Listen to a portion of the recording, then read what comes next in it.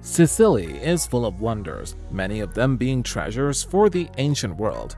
In Agrigentos Valley of Temples, for example, you'll see one of the three most perfect temples in the Greek world. Selinunte is one of them and is the largest of all known Greek temples. Another treasured spot is Villa Romana del Casale in Enna, one of the best preserved villas anywhere in the Roman Empire. With more than 3,500 square meters of mosaics, it is rightfully now a UNESCO World Heritage Site. The twin towns of Ragusa and Modica are also UNESCO sites, as they represent Europe's peak of Baroque art. Monreale is a town and commune, and houses stunning mosaics and an exquisite monastery that are considered highlights of European art. The collections of Palermo's archaeological museum rank it as one of Italy's best. Sicily has its share of natural wonders too, the Mount Etna ranking as continental Europe's tallest active volcano. The nearby Aeolian Islands are where Mount Stromboli is located, which is famed for its nightly volcanic displays. Beyond its tourist attractions, you'll enjoy Sicily for its lively local culture and spirited people. Hello guys, welcome to the top 10 destinations. In this video, we are going to tell you the top 8 things to do in Sicily. The video is going to be amazing, so make sure you stick to the end. Before starting the video, be sure to smash the like button and subscribe to never miss out on any of our videos. Now, let's get started.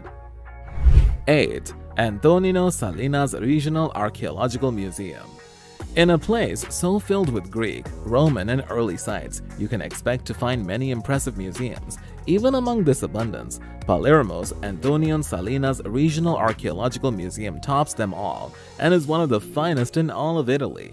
Among its highlights are the Palermo Stone, with hieroglyphics listing Egyptian pharaohs of the 3rd and 4th millennia BC, a colossal 2nd century BC statues of Zeus, and the outstanding scriptures and friezes from the temples of Selinunte.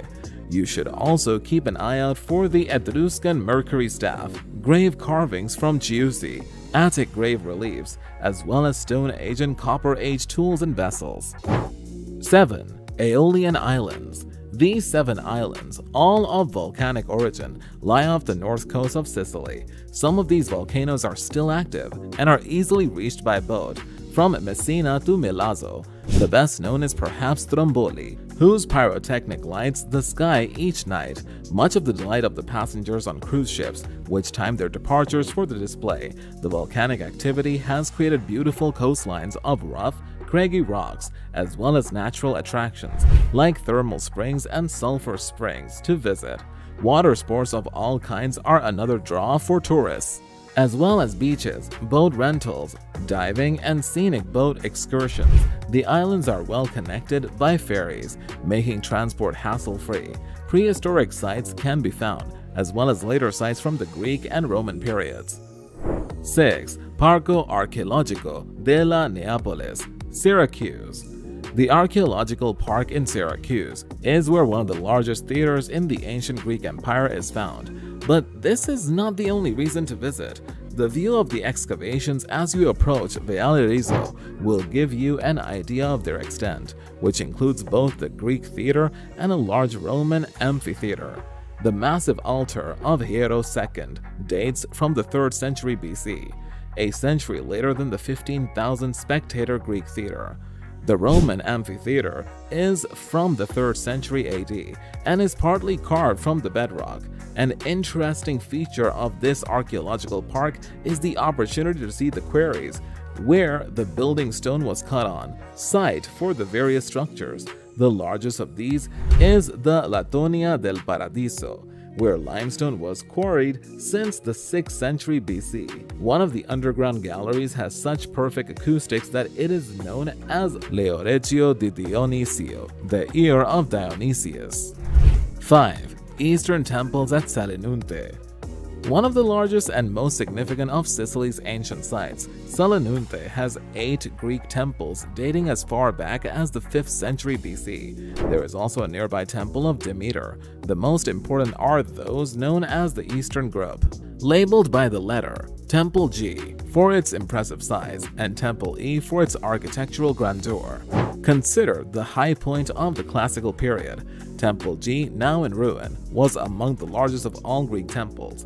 In a separate section is the large Acropolis surrounded by defense walls, some dating from the 7th century BC. Temple C is the largest and oldest, from about 550 BC, and sits on the highest ground. 4. Explore Mount Etna by rail or cable car. Etna is an enigma. Even its height is never certain, and it changes with each new eruption. At more than 3,000 meters, it rules the skyline with its often smoking cone, volcanic vents, fumaroles, hot springs, and lava flows adds to its changing landscape, much of which you can explore on foot or in all-terrain vehicles designed for traction on the volcanic surface. Although not too close to the central crater, roads lead to the base of cable cars, which will take you to the 2,500 meter point, an easy day trip from Catania to Taormina. In the winter, you can ski near the summit. A narrow gauge railway, Ferrovia Circumetnea, takes you almost completely around the mountain, or you can circle it by car, Though towns with castles, archaeological sites, and splendid scenery, along Mount Etna's northern side, the Alcantara River has cut a spectacular gorge through a long-ago lava flow to create the Gole del Alcantara, Alcantara Gorge. 3. The Valley of Temples in Agrigento the large complex of temples and tombs in Agrigento dates as far back as 500 BCE and includes Sicily's best preserved Doric temple, Tempio de Concordia, one of the most perfect to survive anywhere. Along with it, in the eastern group, is the Tempio de Juno Lacinia. Almost as large, in the western group is the Temple of Olympian Zeus, and was the largest of them at 40 meters, before it was toppled by an earthquake. The circular Doric Tempio de Hercules, also in the western group, was destroyed by the Carthaginians and rebuilt by the Romans, only to be partially destroyed in the earthquake. The entire group is listed as a UNESCO World Heritage Site. Luxurious guest rooms and suites of the Hotel Villa Athena overlook the Tempio della Concordia in the Valley of the Temples, and the garden surrounding the resort includes a swimming pool and spa.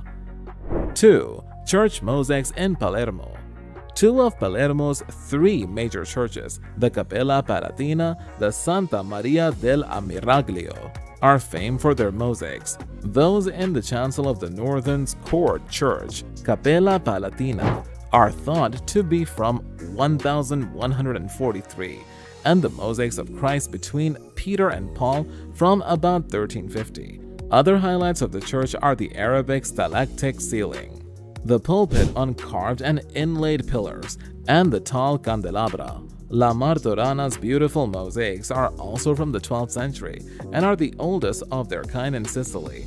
The image of Christ is the centerpiece, and elsewhere in the vaulting dome, apsis, and narthex are scenes from the New Testament. The third church, the cathedral, is worth visiting for its 1453 Gothic Catalan portico, monumental Norman tombs, and jewel-encrusted crown of Constance of Aragon in the cathedral treasury. 1. The Cathedral of Monreale The Cathedral of Monreale reflects the politics, religion, and artistic heights of Sicily under the Normans.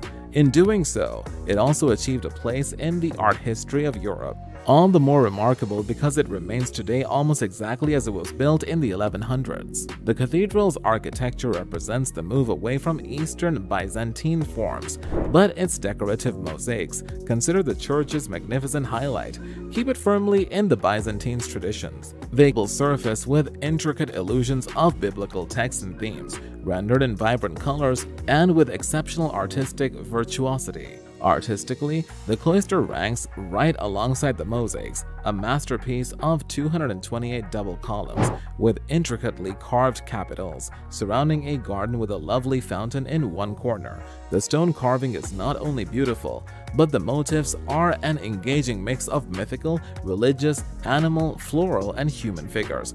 Many of the columns are inlaid with colored stones, and no two are alike.